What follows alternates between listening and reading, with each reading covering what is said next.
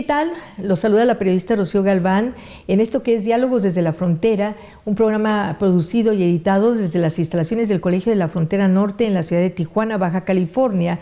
Eh, tenemos siempre el gusto de recibir a visitantes de muchas partes, de muchos institutos. Es el caso de Carlos Eduardo Flota Estrada, quien es el presidente del Consejo del Instituto de Administración Pública del Estado de Tabasco, eh, quien hoy nos acompaña. Él es egresado, es licenciado en Economía por la, el ITAN, eh, tiene la maestría en Ciencias Sociales Aplicadas y también en Londres una maestría en Política Social en Países en Desarrollo. Y le agradecemos mucho su tiempo y que platique, converse hoy con nosotros. Bienvenido. Mi estimada Rocío, es un gusto, un placer estar aquí en el Colegio de la Frontera Norte y además te agradezco la oportunidad de la posibilidad de este diálogo. Un gusto estar aquí. Bueno, pues ahora sí que vamos por el principio. ¿A qué se debe su visita al Colegio de la Frontera Norte? Eh, bueno, como ya me presentaste, soy presidente del Consejo del Instituto de Administración Pública de Tabasco, que es un pequeño, es un pequeño instituto que tiene como vocación eh, la, la, profesionalización y la capacitación de los administradores públicos del Estado de Tabasco. Y también, desde luego, eh, un debate constante en la, mejora de la cultura administrativa del Estado de Tabasco. Digamos que en esta segunda parte de mi periodo como presidente, eh, tenemos como estrategia vincularnos a lo que nosotros llamamos centros de pensamiento, como es el Colegio de la Frontera Norte. Entonces, lo que hoy me trae es la firma de convenio que realizó el Instituto de Administración Pública con el Colegio de la Frontera Norte, que tiene como propósito principal eh, que el instituto de que yo represento a breve en centros como el Colegio de la Frontera Norte, instituciones académicas de gran prestigio. Buscando temas, por ejemplo, en específico, yo te diría que los temas que a nosotros más nos interesan es, es la gestión del agua, y lo que se conoce como ciudades inteligentes o ciudades del siglo XXI, que son programas que el Colegio de la Frontera Norte tiene ya muy desarrollado. Entonces esperamos nosotros poder ¿no? abrevar, insisto, de todo este gran conocimiento que existe en el colegio. Pues perdón por la pregunta, pero siempre cuando se habla de Tabasco eh, se piensa que es un estado que precisamente no tiene ningún problema eh, con, eh, con lo que es el agua y por la cantidad de, que tienen de líquido, cosa que no, pasa en Baja California, en donde pues al contrario, tenemos problemas con la sequía y con la distribución del agua. Bueno, a diferencia de lo que se cree, nosotros incluso hoy, ahorita en este momento, estamos pasando por una relativa sequía. Es a pesar de que hay periodos de lluvia eh, excesiva, ¿no? Incluso en 2017, 2007 nos fuimos al agua, todo el centro de la ciudad se fue 3, 4 metros abajo porque estamos en una planicie, ¿no? donde hay grandes bajadas de, agua ¿no? que vienen reguladas por un, sistema de cuatro presas. Entonces a veces llueve en exceso y nos vamos en agua, pero a diferencia, insisto, de lo que se crea, tenemos sequía. En este momento incluso tenemos un problema de sequía. Entonces necesitamos ¿no? empezar a estudiar más el agua, pero no solo desde el punto de vista técnico, sino desde el punto de vista de la gestión del agua. Es decir, cómo podemos gestionar en épocas de sequía tener agua, porque hay muchísima, pero bueno, se delapida ¿no? en épocas de sequía. Y, bueno, increíble lo que dice, ¿no? Hay sequía ahorita en Tabasco. Eh, señor, eh, con todos estos estudios, el recorrido que usted ha hecho, eh, estuvo en Bélgica, estuvo en Londres, estudió en el ITAM, en la Ciudad de México, y bueno, viene este, esta reflexión y también la pregunta, el conocimiento en este caso al servicio del Estado de donde es usted originario, cosa que muchas veces eh, pues, eh, también se cuestiona, se dice es que se van, se preparan y luego ya no regresan. En este caso, ¿cuál sería su apreciación? Bueno, es, eh, una gran pregunta, ¿no? Que mucha gente me hace, incluso en mi, en mi estado, dice, ¿qué haces aquí, no? Mm. Bueno, no, no, lo sé, digo, a ciencia cierta, Tabasco me ofrece muchas cosas que en otros lados no, no me siento a gusto. Yo en mi, tierra natal me ofrece tiempo de calidad, eh, espacios ¿no? de, recreación ¿no? que no tengo en otros lados, una, una vegetación exuberante, amigos de infancia, comidas que no tengo en otros lados. Entonces, bueno, yo creo que a la hora de decidir, ¿no? si la vida te da esa posibilidad de decidir dónde vivir, pues uno va sopesando los temas y, dices, bueno, a lo mejor sacrificio, sacrificio, eh, una ventaja profesional, pero tengo otras cosas. Yo viví más de 20 años en el Distrito Federal, yo te diría que mi, mi vida profesional era más excitante, pero nunca tenía tiempo de nada, vivía encerrado en una oficina. Ahora en Tabasco, ¿no? Decir, eh, tengo esa posibilidad de salirme en el momento que yo desee, las cosas me quedan a 5 o 10 minutos. Entonces me empieza a ofrecer una serie de, de incentivos que no tengo en otros lados. Además, insisto que mi familia toda está ahí en Tabasco. En Tabasco. Señor, eh, eh, en, en, punto tan distante de la frontera, ¿cómo se ve en Tabasco y cómo se vive la migración? Siendo también un punto tan importante del paso de, de personas originarias de Centroamérica, ¿cómo se vive en el 2023 y cómo se ve la perspectiva de la frontera de México con Estados Unidos? Bueno, a ver, en el caso de Tabasco, desde que yo tengo su razón, no ha sido esencialmente un problema la migración, que ahora se ha acentuado un poco más a diferencia de otros años, según yo recuerdo. El norte del país, bueno, eh, como lo creo que lo percibimos en términos generales, se ve como un área, como un motor económico del país, es decir, eh, a propósito ¿no? de la cercanía con nuestros vecinos de la frontera norte, que son economías muy pujantes, y bueno, siempre por por reducir costos de transporte, pues la gente va buscando, va buscando áreas ¿no? donde ubicarse. También, bueno, hoy, discutimos de la relocalización de la industria a nivel mundial y México se plantea como una zona geográfica importante para asentar ¿no? la, industria como Tesla, por ejemplo. ¿no? Tesla acaba, en principio, va a asentar parte de, de sus, lo que llaman ya sus giga gigafábricas ¿no? en, en, Nuevo, León. Entonces eso pues, se percibe la, la, frontera como un, como un motor de la economía nacional, pero con algunas problemáticas, inseguridad o algo de inseguridad, problemas de migración creciente, ¿no? es decir, porque muchos de los amigos ¿no? o ciudadanos de, del, del, que emigran del, de Centroamérica, bueno, pues normalmente vienen a la frontera para buscar una mejor vida en Estados Unidos. Entonces se, percibe ahí alguna problemática que en principio pues, debe resolverse en cualquier momento, pero sí se percibe como, como una zona de migración, con un problema de inseguridad, pero como una zona muy pujante de economía. O sea, con todos estos eh, contrastes. Contrastes, efectivamente. Sí, bueno, creo que vamos a hacer nuestra primera pausa eh, y vamos a regresar con la segunda parte de esta conversación con nuestro invitado el día de hoy.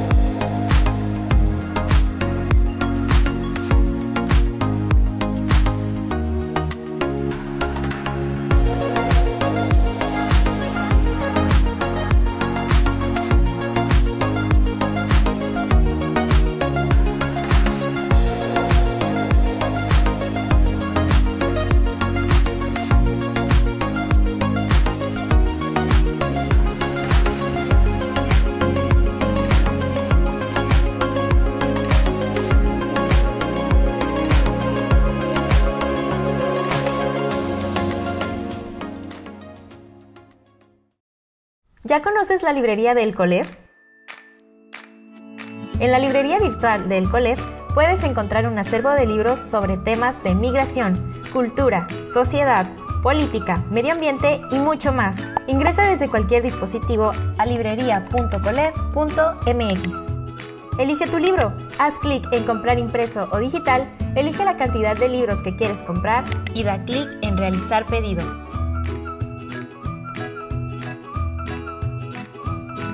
No olvides hacer tu registro de datos personales. Dentro de 10 a 15 días hábiles tendrás los libros impresos en tus manos. ¡Y listo! Así de fácil.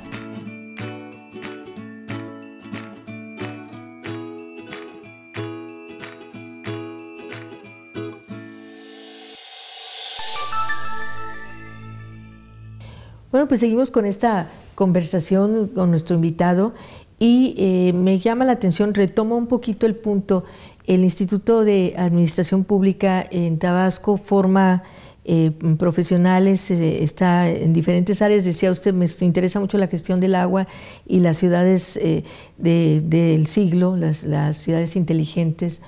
y me pregunto, en ese sentido de la vinculación, ¿qué tan importante es ¿no? este ejercicio del conocimiento, la ciencia, eh, a favor de, crear una mejor calidad de vida para los ciudadanos. Sin duda, bueno, eh, la idea parte de que dos cabezas piensan más que una, ¿no? Entonces, cuando uno celebra un convenio de colaboración, pues busca ese, esta idea de que dos cabezas piensen más que una. Pero además, eh, Rocío, hay, temas novedosos, ¿no? Es decir, que no, es fácil llevarlos al, salón de clases, ¿no? Si no uno está capacitado, si uno no tiene el capital humano. Por ejemplo, temas novedosos como los dos, ¿no? Bueno, gestión del agua no es tan novedoso, pero ciudades del siglo XXI, ciudades inteligentes es un tema nuevo, ciencia de datos es un tema nuevo, ciberseguridad es un tema nuevo. Es decir, que van a tener grandes implicaciones sobre el desempeño de la administración pública. ¿no? Entonces, cada vez se necesitan eh, especialistas sobre distintos temas, ¿no? Para crear ¿no? un ambiente propicio para el desarrollo de las sociedades. Entonces, esa función, en el caso de Tabasco, es que juega, esa función es la que juega el Instituto de Administración Pública, ¿no? la, la profesionalización de ese, vamos a decir, sector de la economía que es la administración pública, que incide mucho en el diseño del juego, ¿no? Eh, que es, es, es, es importantísimo. Entonces, en la medida que tú tengas una administración pública más profesionalizada, muy probablemente tengas mejores reglas del juego que promocionen o promuevan el desarrollo o el crecimiento económico. Entonces, eh, hay, temas obligados como, como transparencia, contabilidad gubernamental, diseño, evaluación e implementación de políticas públicas. Pero todo ¿no? ¿no? lo que ha sido propicio, ¿no? que se ha acelerado a partir de la pandemia, que es todas estas habilidades digitales que creo que van a ser cada vez más importantes en el desempeño de los administradores públicos. Entonces hay centros ¿no? ya muy avanzados como el centro, ¿no? como el Colegio de la Frontera Norte, que pues llevan muchos años ya investigando, son centros muy sólidos eh, académicamente, entonces hay que buscarlos ¿no? para pedir ayuda y decirles, a ver, échenme la mano en estos temas, a reserva ¿no? de que pudiera haber otros. Entonces, en, ese, en este trabajo ¿no? que, creo que debemos dedicar en Tabasco por parte del instituto, buscar estos centros ¿no? de, investigación sobre distintos temas. Hay centros que investigan, insisto, ciencia de datos, hay temas que investigan movilidad social, que es un tema relevante o cada vez va a ser más relevante, desigualdad. Entonces hay que empezarlos a buscar ¿no? y, y, abrevar de ellos ¿no? y que empezar a capacitar y profesionalizar eh, a los servidores públicos. Creo que va a haber un gran viraje. A mí me tocó vivir el viraje de los 80 cuando entramos ¿no? a lo que conocemos como modelo neoliberal, que todos conocemos, que es producto del consenso de Washington, que tuvo algunas reglas, ¿no? apertura comercial, de regulación económica, la retracción del estado de la economía. Hoy me parece que el péndulo está yendo de regreso ¿no? a una rectoría del Estado. A lo mejor ya replanteada, no como los 70, pero sí en sectores muy estratégicos como el sector energético. Si tú ves actualmente, el, debate no está en el sector financiero, en el sector bancario, está en el sector energético. Entonces, vamos a necesitar administradores públicos del siglo XXI. ¿no? que tengan todas estas habilidades para la gran toma de decisiones gerenciales que el país va a necesitar. Entonces, en la medida, insisto, Rocío, que tú capacites y profesionalices a los servidores públicos, pues bueno, seguramente diseñarás política pública ¿no? más relevante, con mayores implicaciones en el desarrollo de un país y de una sociedad.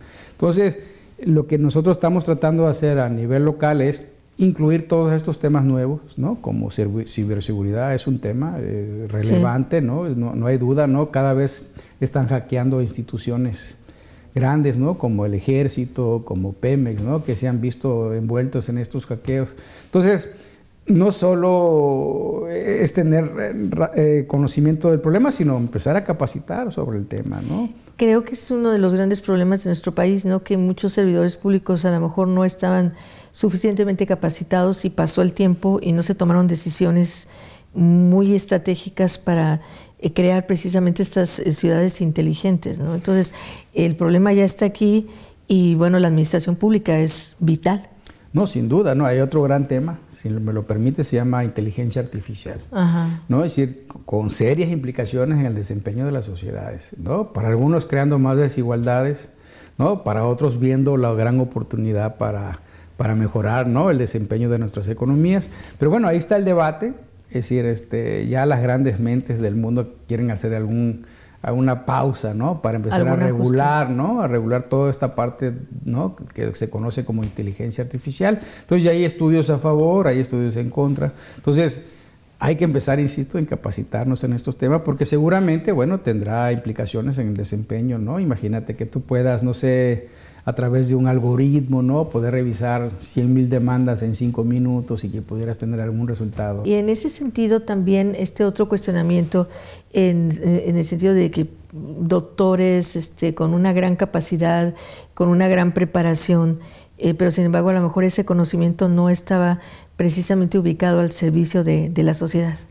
Sí, efectivamente.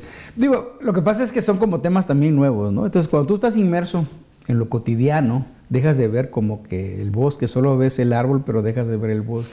Entonces, por eso siempre es importante tener este tipo de, organismos o instituciones como centros de pensamiento, ¿no? que lo, dislocas de lo cotidiano y están pensando y están, están promoviendo ideas ¿no? a los procesos, a las formas de, de resolver alguna problemática social, que ahí están, ¿no? Es decir, constantemente tienes un problema de pobreza, de desigualdad, de inmigración, de inseguridad, que hay que empezar a resolver. Entonces, pero si estás en lo cotidiano, ¿no? Pues no puedes. Entonces necesitas tener áreas como de pensamiento, insisto, ¿no? Que estén, estén ideando formas, ¿no? Para mejorar la calidad de vida de, pues, de un país, de una sociedad, de los ciudadanos en general.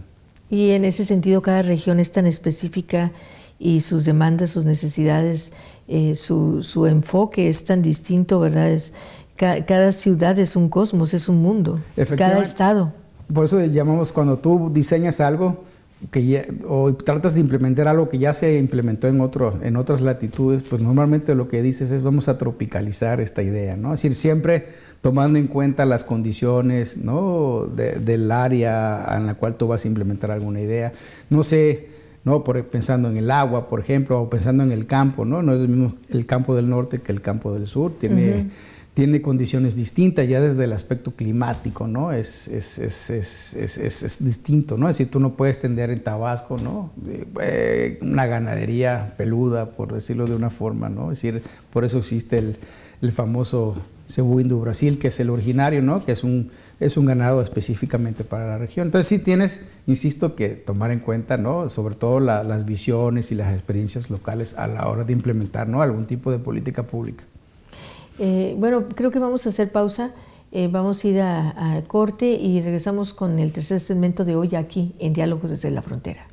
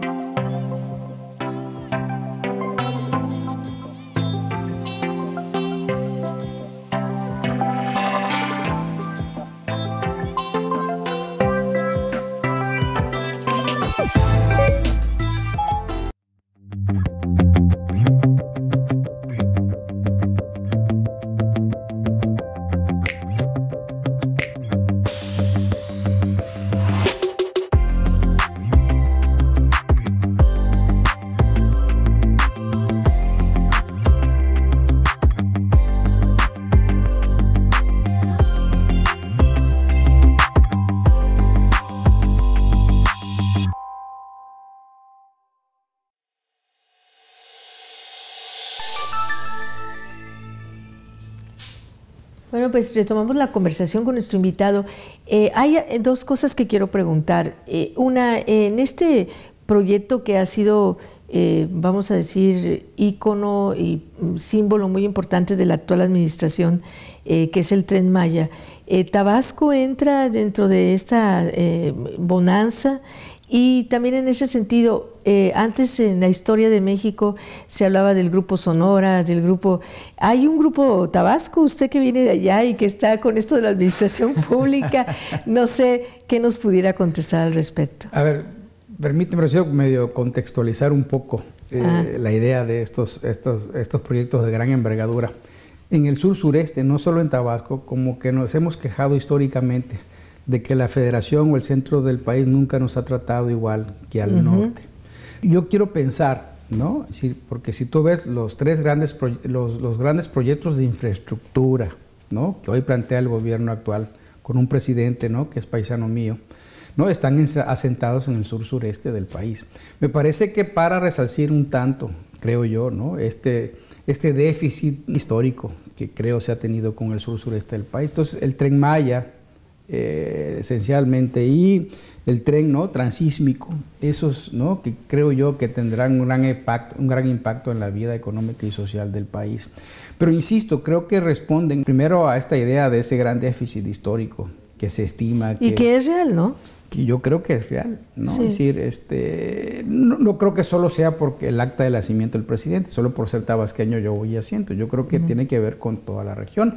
Y yo en su discurso, pues yo lo he escuchado algunas veces, insiste, ¿no? En, en esta idea del sur-sureste. Diría Benedetti, el sur también existe, ¿no? Entonces, eh, creo que responde a esta idea, ¿no? Es decir, eh, porque por insultos e incentivos, cuando firmamos el primer acuerdo comercial, ¿no? Con nuestros vecinos del norte, bueno, los incentivos, ¿no? Estaban a colocarse en la frontera norte por cuestiones de costo de transporte. Pero el sur, ¿no? No se ha visto beneficiado de, de esta, de esta apertura comercial o los motores del sector exportador no jalan al sur-sureste. Entonces yo pienso que hubo que asentar alguna parte de la infraestructura importante, al menos en esta sección en el sur-sureste del país, y se estima sobre todo el transísmico tenga grandes efectos económicos sobre la región. Y el tren Maya pues está debatible, yo creo que sí va a tener grandes efectos, creo que eh, tal vez un proyecto que puede tardar en madurar, pero no tengo duda que jalará eh, grandes inversiones en el, en, el, en el futuro. Y te platico un tema, hay accidentes históricos. Tú ves Chicago, hoy, Chicago una gran ciudad financiera, pero es producto de un accidente histórico. Por ahí pasó el tren y se paró.